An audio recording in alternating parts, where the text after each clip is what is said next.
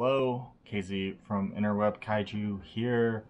It's another quick review roundup. Today it's going to be about superhero movies. Today I'm going to be talking about Shang-Chi and the Legend of the Ten Rings, Black Widow, Spider-Man No Way Home, and Doctor Strange in the Multitude of Madness.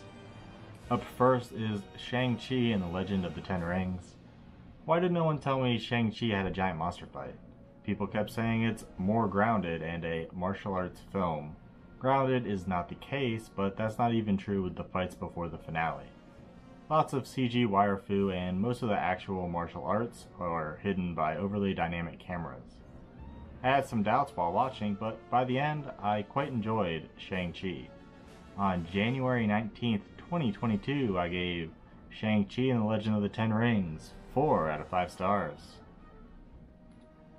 Black Widow, a group of great actors doing surprisingly well to overcome their miscast in this mediocre movie. At best, it reminds me of how great it is to see Black Widow in action. We need more action movies with Florence Pugh and Rachel Weisz. Weisz? Weisz? Wise? I don't know. But on January 14th, 2022, I gave Black Widow 3 out of 5 stars. Um, Florence Pugh is also very good in the Hawkeye show. Spider-Man No Way Home.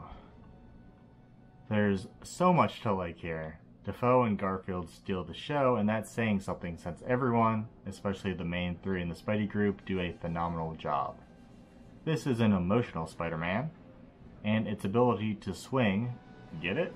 Fluidly from comedy, action, and drama is extremely impressive. Back to action, great imaginative choreography, even if a lot of it was just CG models tussling. There's a lot of nostalgia and meme baiting, but I personally never felt upset at it. You may be wondering why I'm not slapping a 5 out of 5 on this, and it's hard to explain. It doesn't even feel like a proper movie. Maybe it's due to picking up right after the last film, but many franchises do that and still feel proper. Maybe it's just the MCU in general nowadays that they rely so heavily on so many established characters and ideas, or the fact that this movie also relies on the other Spider-Man movies as well. Maybe it's just the overall story structure? I don't know, and I don't care to.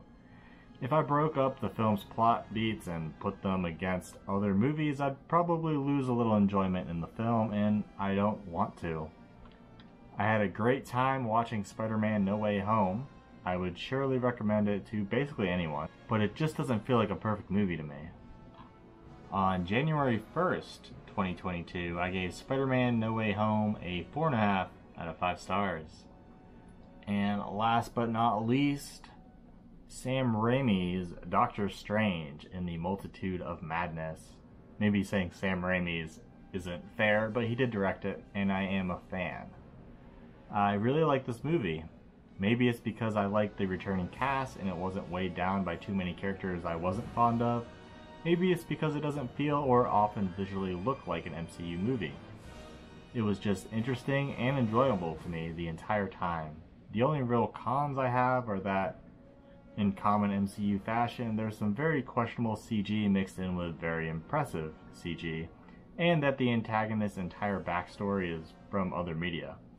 Though, some people may think the latter as a pro, which is fine, but to me it's not. It entertained, it pleased with Easter eggs, it shocked with kills.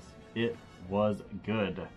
Up there competing with my favorite MCU outings. On May 5th, 2022, I gave Doctor Strange in the Multitude of Madness a 4.5 out of 5 stars. Thanks for watching.